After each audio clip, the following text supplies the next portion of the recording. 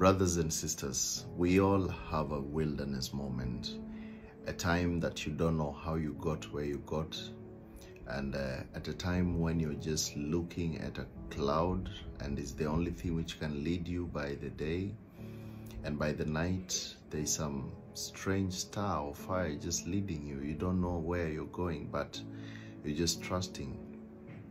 And uh, I just want to ask you, have you been in this moment whereby you're just trusting God and you cannot really understand where you're heading, but uh, you trust the process because God has sent some type of Moses to your life to get you out of your situation. But then it seems so difficult.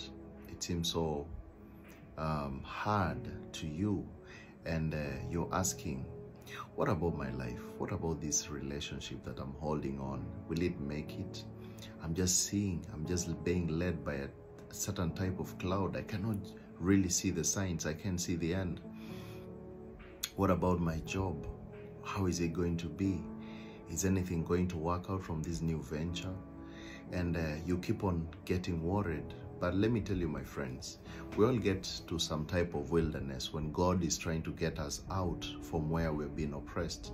Sometimes we don't look at things in the logical way that God sees them because we try to put on our carnal mind, our fleshly thought, our five senses to try and understand things the way they are not uh, they are not supposed to be understood. Think about the children of Israel. They are just been oppressed for 400 years and here comes God sending Moses and Moses tells them, guys, you have to go. Of course, there's that moment you make the decision, yes, we have to leave Egypt. It's true. It's it's my time to leave Egypt. But when you're starting the journey, it's all joyful, it's all vibrant, you're all celebrating, but you will get to the wilderness. And even just before you get to the wilderness, you'll start sensing that, hey man, I'm about to get to some type of wilderness. It's about to get bad down there. The moment you will see that Red Sea that you have to cross, you don't have a boat. You don't have anything which can help you cross. You don't have the instruments, not even a snorkeling um, gadget to, to just float away. It's all big. And when you look behind, you see here are the bills coming.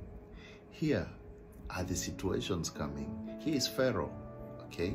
And uh, I know what Pharaoh wants. He wants to pull me back to where I was.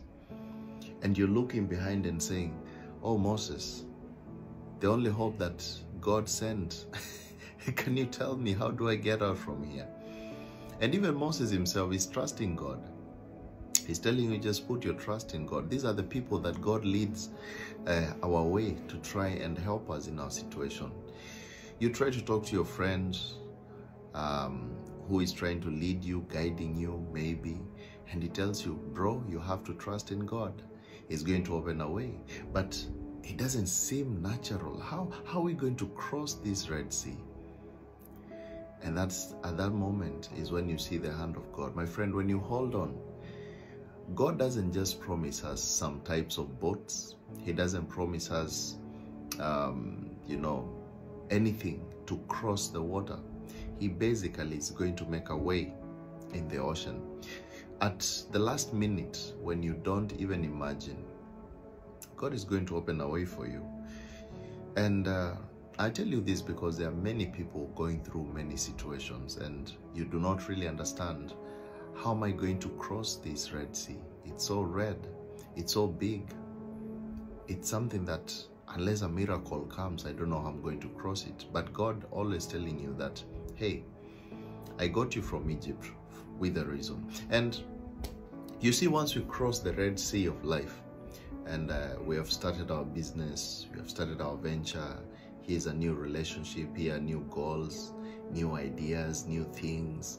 You see the new me kind of thing. Remember, you've just gotten into another wilderness that you have to move until things stabilize. Remember, that is the time that people start thinking about uh, the kind of foods they used to eat back in Egypt. You start thinking, oh God, you told me to open, to start my own new job, but I think I just would rather be employed. When I was employed, there were some benefits. when I was there back working for that guy, even though he abused us, even if he did this, but at least we were eating. At least there was something. That's that's what the children of Israel, some of them were saying. It doesn't matter if these people used to beat us, uh, but we had some goodies. We had some good food, maybe some maize and beans, and we could at least survive. There, there was a place where we could be buried in case anything goes wrong. You see, that's how people look at life. While at that time, God is showing you, hey, I have a promised land, a place where I want to take you. I want you to focus ahead. Remember, the promised land is always in your mind. And uh, God is always telling us, do not be afraid, do not worry. Don't worry where you'll get the water. God is going to bring water from a rock. Don't worry how you're going to eat. Manna is going to come from nowhere. You will eat until meat comes out from you know your nose and mouth and everywhere because it's going to be so much that you'll wonder is it me who could not pay rent that today i'm able to pay my own rent and my friends and my family and send money home and do all these things. Like how did i do? Even in my kind of wilderness i'm still able to survive. And you see for complainers they never really make it to the promised land. Complainers, if you complain a lot, God doesn't want complaining. He wants a spirit of gratitude for you to say thank you. Thank you for the water. Thank you for taking us. Thank you for protecting us. Thank you, even though Moses stayed much more in, on, on the mountain. I didn't worship idols. I didn't change and start focusing on my five senses. Because when people focus on their five senses, on what they see, they, they lose the faith that they had with God. You start looking at things and saying, I don't think Moses is coming again. I don't think God is going to give me any report. It's been 40 days. How? How on earth is he going to come back?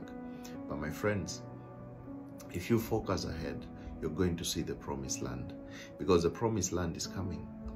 And that will be the fullness of the manifestations of the sons of God. And, and God is going to do things that when you look back, when you're at Canaan, at the promised land, you're going to look back and think, I could still be in that place employed. I could still be at that place in Egypt. Look at my life, where I am right now. Yes, it might have costed me 40 years, but finally I'm somewhere. Finally, I've learned so much. I've had an adventure all through the desert. My friends, this life that we're living in is some type of wilderness, some type of adventure, some type of thing. And um, God is leading us. Do not give up. Do not give up even when you don't see the real sign of where you're heading. Just put your eyes on the cloud, which is leading you. Put your head on the cloud and God is going to lead you. And He always puts some type of Moses on our path that He will be able to guide us through. Just ask God, hey God, where, where is my Moses? Where is this guy who is leading me? Just, I, I need some encouragement. So this message is for people who feel heartbroken by situations just know that God is getting you out of your wilderness. It's just a matter of faith.